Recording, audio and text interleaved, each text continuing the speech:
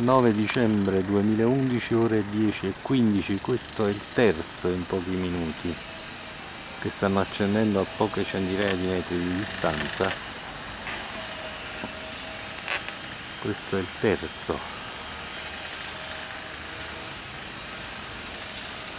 Qui siamo nei pressi di Madonna del Pantano e più o meno i posti sono sempre gli stessi negli ultimi tre rovi